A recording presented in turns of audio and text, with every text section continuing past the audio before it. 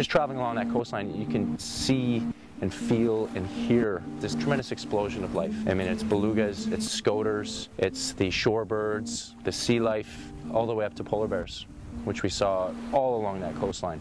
It's amazing when we are coming by north and south of the Seal River estuary it just changes. All of a sudden, you see just incredible flocks of birds. You see more whales, you see more activity.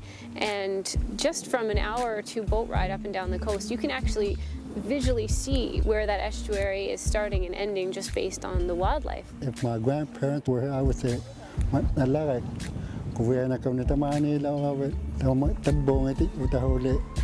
sa tinulaw awit tabo lata. Ah.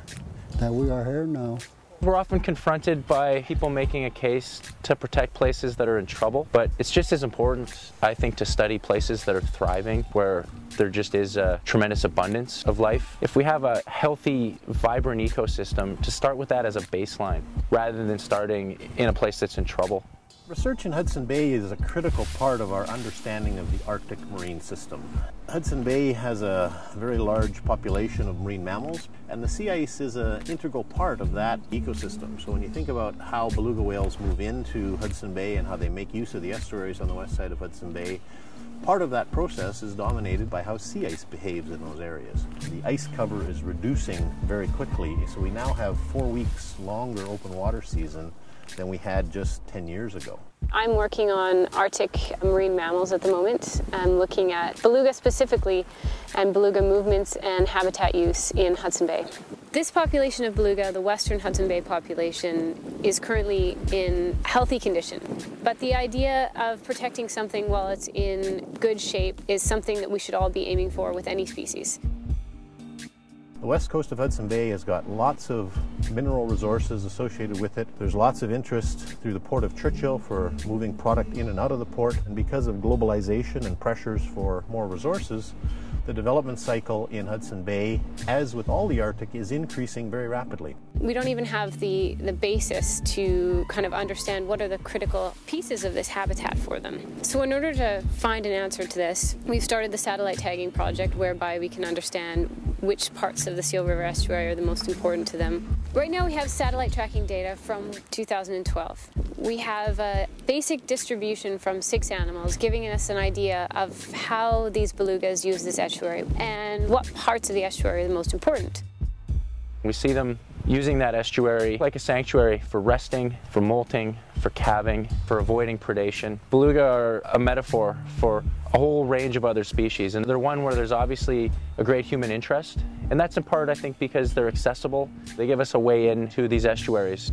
What we're doing here is a strip transect survey. So basically, we've created a boundary on the coast and we're counting whales, number of animals, what's in that pod, for example, the juveniles, the adults, and what they're doing.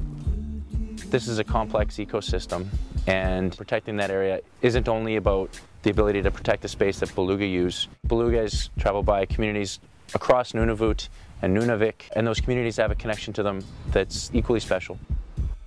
I first met Johnny last year when he worked with us on our tagging project. Johnny's from Arviat, which is the Inuit community geographically closest to these estuaries. It's a community that has a really strong link with the same beluga. And walking around there with him, we saw these incredible stone structures all around that place that are a reminder that people have been using that space for centuries. There's the kayak stand right here. Drying it up? Yep. 10 rings. There's more up here. Another cache? Uh-huh. All these are cache for caching meat. Then they supply for the whole winter. They drop all the meat or the muktak in there and cover it with rocks so the bears or animals won't get to it. We've been hunting for centuries and it's still our livelihood today to get meat for our family. We use this land and want it protected from being used for something else like this is traditional ground for the Inuit.